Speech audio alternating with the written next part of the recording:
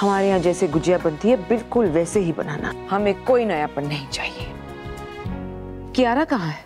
Mummy आपने अबीरा को शगुन नहीं दिया शगुन सिर्फ़ घर वालों के लिए है मनीषा। बाहर वालों के लिए नहीं। कहाँ गई थी मुझे झूठ बोल के? हम मेरी फ्रेंड की होली पार्टी में जा रहे थे। हम नहीं दादी सा।